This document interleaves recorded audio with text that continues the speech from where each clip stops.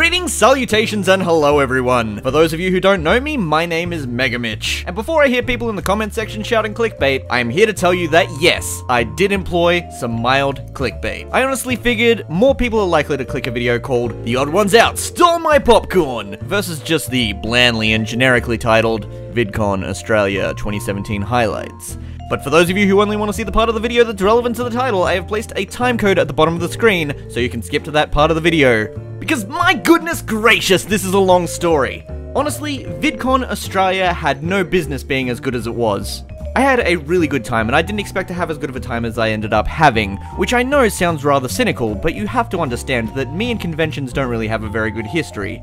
Half the time I've been to conventions, I've had little money to spend, the food is expensive, if you're not buying something from one of the stalls, you're basically left to your own devices. Then there's the panels, which someone's probably recording to post online later anyway. Then there's meeting or catching up with your friends outside or in the halls, which you probably could have done anyway on literally any other day without having to spend $40 to get in the door. Sorry, sorry, I'll make a separate video on conventions as a concept before I get carried away again. So let's begin our story. And what better place to start a story than at the beginning? On Friday, I arrived at the convention center to receive my pass. Whilst there, I ran into a few friends of mine from the local YouTube community, which I used to go and see at frequent Melbourne meetups. I got my pass, I drew my little mascot character next to my name, both for branding purposes and just because I felt like it, and then I headed back into the city to have dinner with other YouTubers, both big and small. Apparently there was also a launch party going on at the same time, but that was specifically for speakers and guests at VidCon, so I didn't really get a chance to go to that. Or did I?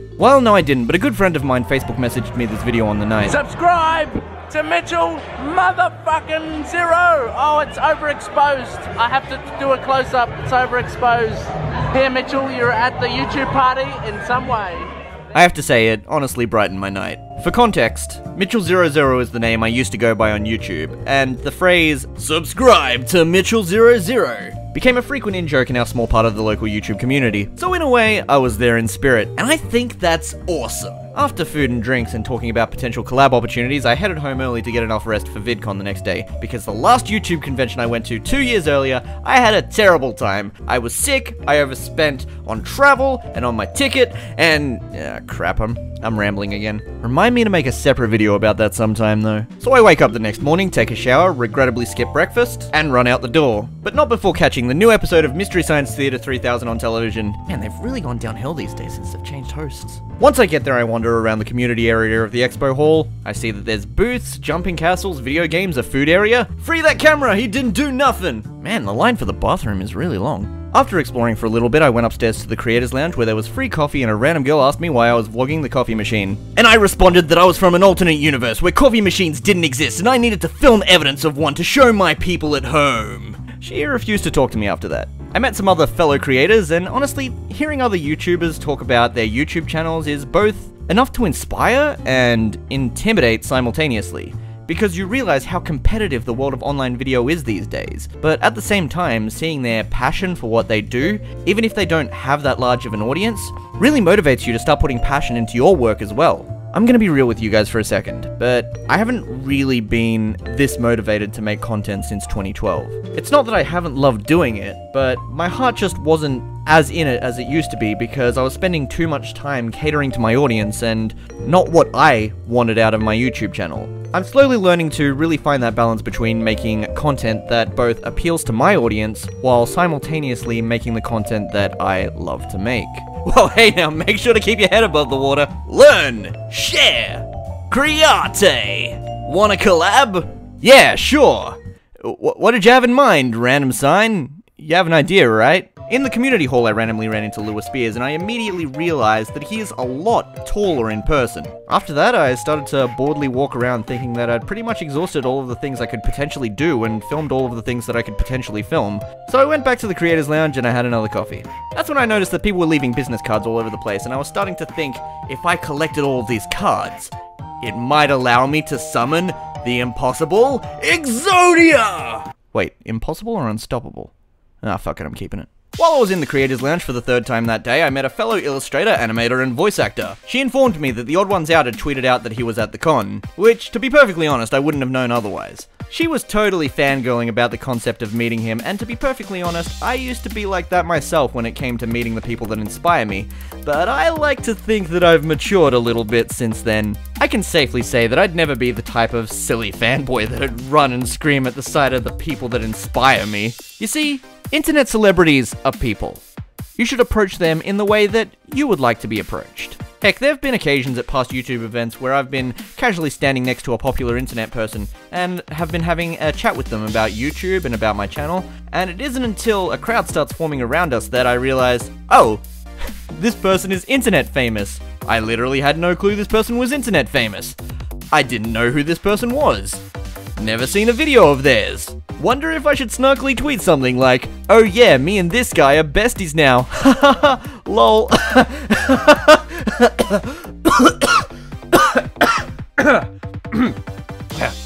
just kidding.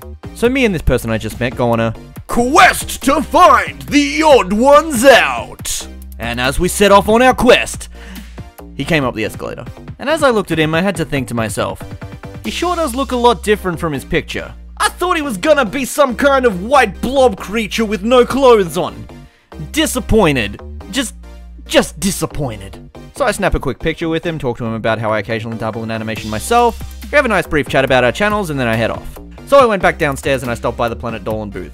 Bought a poster, got to chat with them a little bit, snap a picture, and then not long after that I headed up to the creators' keynotes, which was basically a highlights reel of some of the featured guests, bringing them up on the stage and having them make inspirational speeches and such. Some of which were particularly motivating to me. You see, things like VidCon and general YouTube events have enough passion and energy from other people floating around to really refuel you when you hit a creative slump or writer's block. It honestly felt really good to see all this creative energy and excitement going around. Once the stage show had ended and I'd exited the room into the open hall, it was like it had become a completely different place. Everyone was crowded around the door, there were alcoholic drinks, it was nighttime. It was now that I realized that the upstairs area had now become the creator after party, where you got to mingle and talk with your fellow creators. So I get myself a drink, I walk around, meet a few new people. I walk up to my friend and I start to jokingly introduce myself like, hey, I'm MegaMitch. And then I turn to the guy she's talking to and I jokingly introduce myself to him. But I stop for a second, thinking that he looks familiar. I open my mouth and I say, You look suspiciously like Michael Aranda. My friend burst out laughing and the guy looks me dead in the eyes and he says, Yeah, there's a good reason for that. And I have no idea how my face must have looked at that moment.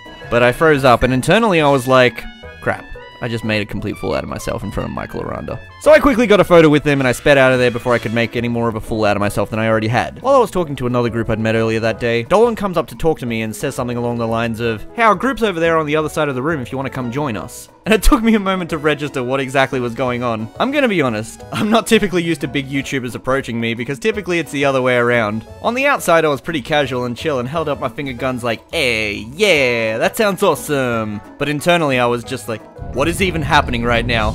I am going to say something stupid, or embarrassing, or completely make a fool out of myself for the second time in the past hour. But nothing bad actually happened, and long story short, I had a really rad time hanging out with Planet Dolan.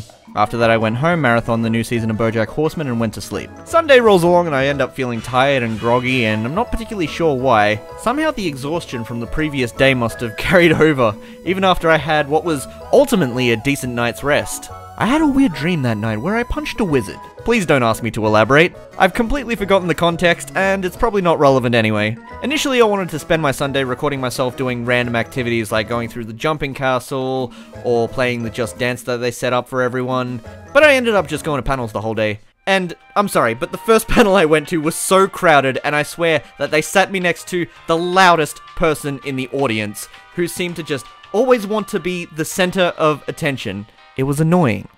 And I know a thing or two about being loud and annoying. I mastered the art of being unintentionally loud and annoying at conventions, but this just takes the cake. I'm sorry, I just had to get that off my chest. I'm sure this individual was a great person, but I could barely hear the panel, which is what I specifically came to see. And there were a few occasions people turned around and thought I was the one shouting. And on any other occasion, I'd take the blame for that, but this time it wasn't me. I'm being framed. As I alluded to earlier, I didn't really have much of a plan when I went to VidCon. My whole intention was to just really go with the flow, but if I had any mission objectives rolling around in the back of my head, One of them was to meet MatPat of Game Theory, and I thought there was a chance that I could get a conversation with him. In theory. And I didn't just want to talk to him because he's a big YouTuber, but because I know that he analyzes and studies the YouTube algorithm and has been known to talk to fellow YouTube creators on how to improve their channels. I wanted to get some one-on-one time with him, but that was particularly difficult with the amount of people who wanted to get photos and videos and stuff signed, and yeah, you know the deal. Typically, if there is a guest at a panel at a convention that you want to spend 5 seconds with, there are hundreds or thousands of other people in the same room as you who probably want the same thing. But he did stay overtime after his last panel to talk with people, and I did briefly get a chance to talk to both him and his wife about live streaming and YouTube in general. And then I had him sign my notebook. Little does he know that I am Kira. Oh, wait. Ah, shit. And then after that, VidCon was almost over. It was at that particular moment that I realized I hadn't really eaten much that day, so I went downstairs to the community area, got some popcorn at one of the food booths, and I casually ran into the Odd1sOut again. He's a pretty chill dude. Look at that finger gun. That is the sign of a chill dude right there. That guy, whenever someone looks at him, they say, that's one guy that is a chill dude. Chill dude. Finger gun. Alright. Chill dude. But then, the unthinkable happened. I could not believe it. The whole world went into slow motion, and a betrayal most heinous occurred. The Odd1sOut, no doubt, reached out and took a handful of my popcorn and ate it.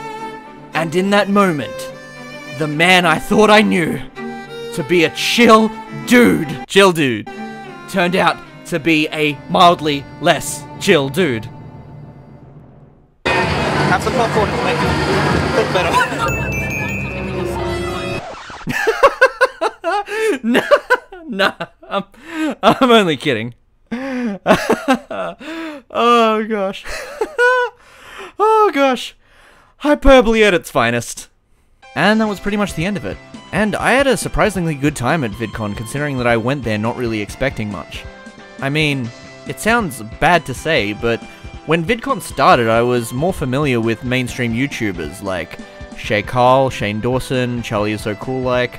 But these days, I don't really follow that many mainstream YouTubers anymore, so I didn't really recognize a lot of the guests. And after being in the YouTube scene for a while, I thought the brief thrill of meeting e-celebrities had kind of worn off. I've been looking forward to the idea of going to VidCon ever since VidCon was first established as a thing that existed. but I never had the money to go and stay overseas. But that was back during a time when I used to frequent conventions. And now I don't. Before I went to VidCon this year, I had a moment of trying to figure out why I was even going to VidCon in the first place. I wasn't looking forward to anything specific, and I didn't really have a plan going in. If I met fellow creators, cool. If I met some of the people that inspire me, cool. But I wouldn't have been disappointed if none of those things happened. If I had just ended up chilling in the community area the whole time and not had any of these incredible opportunities, I probably would have shrugged it off as a reasonably pleasant weekend with some friends. The only real intention going in was to just go with the flow and see where it took me. I guess what I'm saying here is that I didn't expect to have such a good time, and I ended up having a really good time, and I'm really looking forward to VidCon Australia next year. It was an incredibly pleasant surprise, and I am more motivated than ever to get back into making animations and reviews. To all the YouTubers I name dropped in this video, uh, if you're watching, it was nice meeting you, and I hope you had as good of a weekend as I did. And to anyone else that met me at VidCon, I am so sorry.